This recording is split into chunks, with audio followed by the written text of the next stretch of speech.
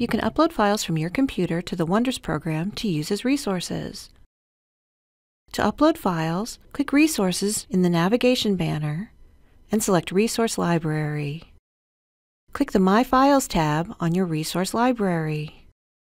Then click the Upload button. On the File Upload pop-up, drag and drop the selected files into the window, or click the Select Files button. All the listed files will be uploaded at once. Remove any of the files by clicking the X next to the file.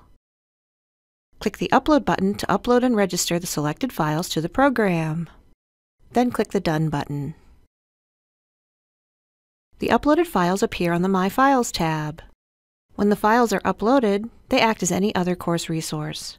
You can attach them in assignments or add them to your classroom materials and presentation. This concludes our guide to uploading files. Be sure to refer to other help materials for more information about the Wonders program.